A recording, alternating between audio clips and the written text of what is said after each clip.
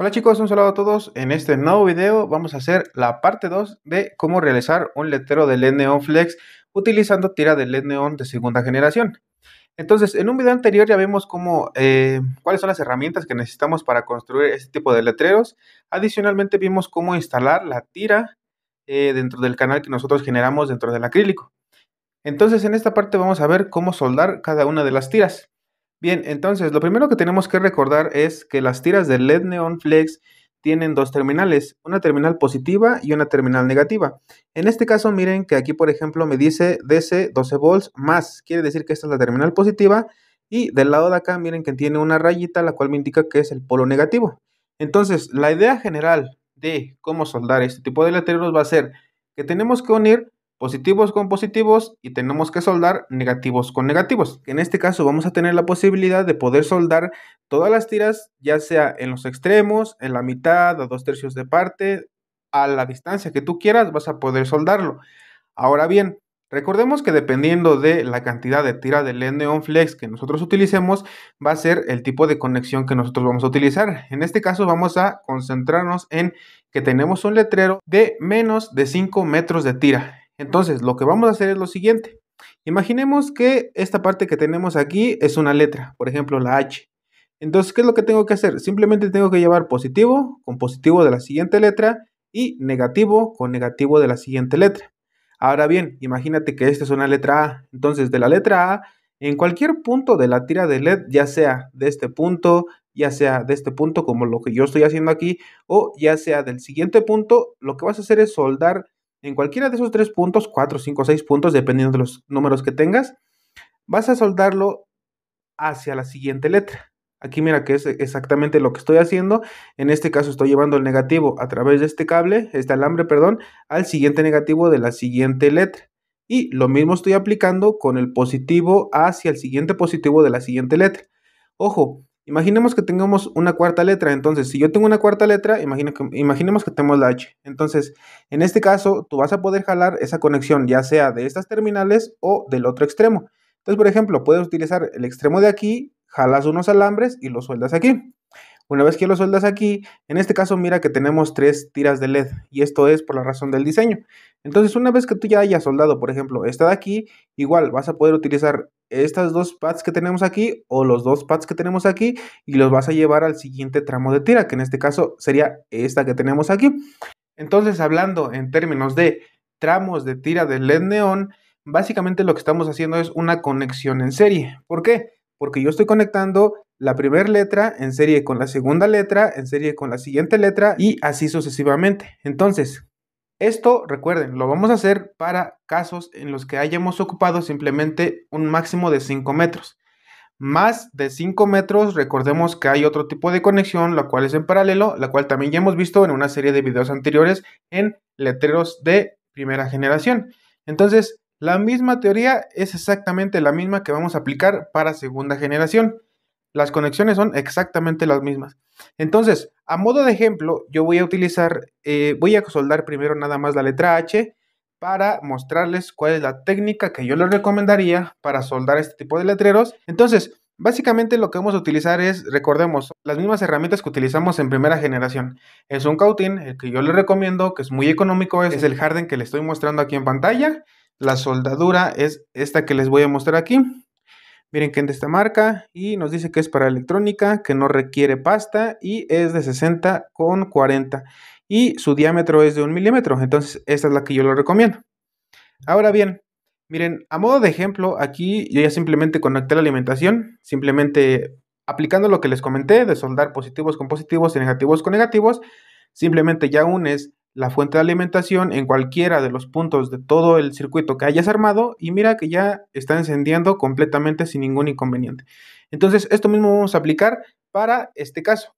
Ahora bien, miren, yo voy a hacer lo siguiente, yo voy a soldar ya directamente la fuente de alimentación en la primera tira de LED neón. No se lo recomiendo ya que pueden eh, ocasionar tal vez algún corto o algo por el estilo. Entonces, lo que yo les recomiendo es ir probando a cada que ustedes eh, terminan de soldar un tramo de tira de LED. En este caso yo lo voy a hacer de esta forma para que ustedes vayan viendo eh, cómo es que se van prendiendo cada uno de los tramos. Entonces lo primero que tengo que hacer es recordar que este tipo de tiras eh, tienen polaridad. Entonces primero tenemos que encontrar cuál es la polaridad correcta. En este caso Ustedes pueden conectarlo de cualquier forma, no va a haber ningún problema. Aquí, por ejemplo, lo acabo de conectar, lo acabo de acercar a las terminales y se dan cuenta no prende, quiere decir que está mal la polaridad. Entonces, ¿qué es lo que voy a hacer? Simplemente voy a invertir los cables de esta forma y entonces los acerco a las terminales y miren que ya encendió. Entonces, lo que yo voy a hacer es simplemente eh, soldarlo ya directamente en la tira de LED para que podamos verlo cómo es que yo voy soldando cada una de las tiras. Entonces, vamos a ver. Recordemos cuál es la técnica que yo les he explicado. Recuerden, simplemente es acercar el cable hacia donde vamos a soldar y ya tienen que estar previamente estañados. Entonces, yo aquí, por ejemplo, voy a estañar las terminales de la tira del neón. Simplemente acerco el cautín en la terminal agrego un poco de soldadura y ya se quedó estañada. Hacemos exactamente lo mismo con la terminal negativa, acerco el cautín, coloco un poco de soldadura y ya se nos quedó un punto. Entonces, recordemos, esta es la técnica que yo les había mostrado en videos anteriores. Simplemente vamos a checar cuál es la polaridad correcta. Aquí, por ejemplo, yo ya la perdí. Invierto los cables y ahí está, mire. Entonces, lo que yo voy a hacer es acercar los dos terminales que ya tengo previamente estañados y los uno, una vez que ya los uní, coloco el cautín encima de los dos componentes y de esa forma ya se unen automáticamente. De la misma forma, vamos a hacer con la terminal negativa. Entonces, acercamos y listo, miren. Entonces, miren que ahí ya soldé la primer parte de la tira de LED, en este caso, una parte de la letra H. Posteriormente, lo que yo voy a hacer es desconectar un momento la fuente de alimentación para que ustedes puedan ver qué es lo que voy a realizar. Ahora miren, para poder hacer los puentes entre los tramos de tiras de LED voy a utilizar este alambre que también lo pueden conseguir directamente con la persona que les había recomendado en el video anterior. Entonces aquí también le voy a dejar todos los datos de la persona con la cual ustedes se pueden poner en contacto para que puedan adquirir este tipo de cables, este tipo de alambres, perdón. Miren que vienen de diferentes medidas. Viene este y viene este que es un poquito más grande. Entonces, independientemente si estén más grandes o no, ustedes los pueden cortar para que les quede a la medida que ustedes necesiten. Entonces, lo que yo voy a hacer es primero unir esa letra H. Para eso yo ya corté un pequeño tramo de ese alambre que les estoy comentando.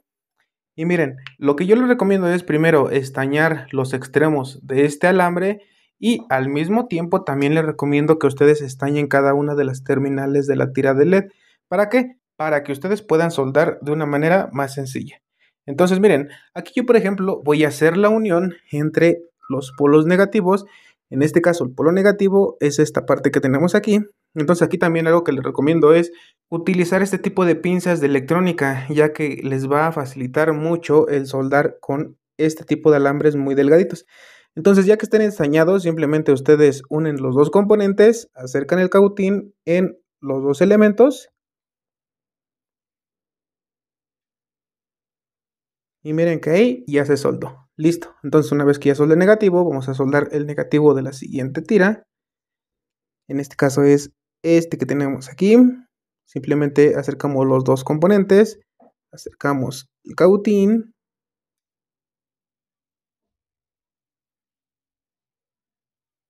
Y listo. Ahora vamos a hacer exactamente lo mismo, pero con el positivo.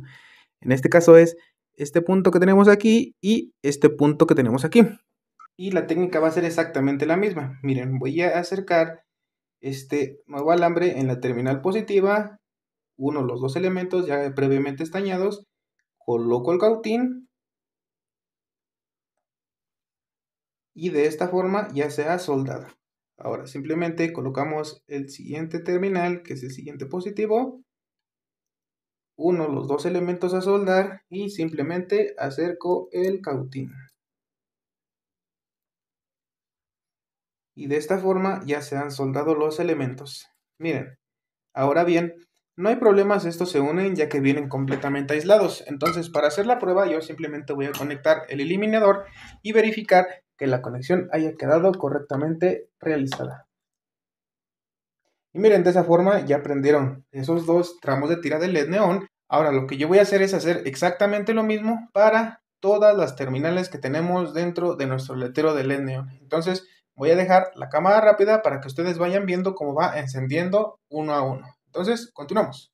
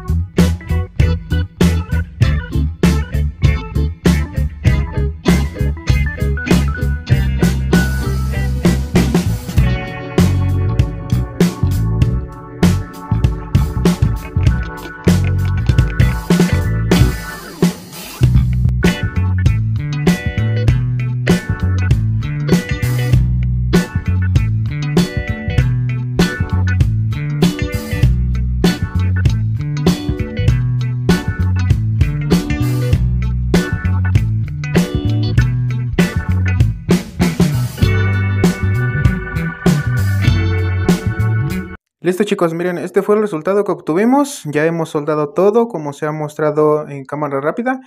Entonces, ah, aquí lo que faltaría como tal sería acomodar todos los alambres, porque miren, ya que si hago un poquito de zoom, todo está como que hecho araña, ¿no? Entonces, eh, ahorita el punto sería esconder, tratar de esconder todo ese alambre que quedó ahí para que podamos instalar la manguera, la cual es el siguiente video. Entonces, pues espero que el video les haya gustado. Recuerden, si les gustó, regálenme un like, compartan y suscríbanse al canal.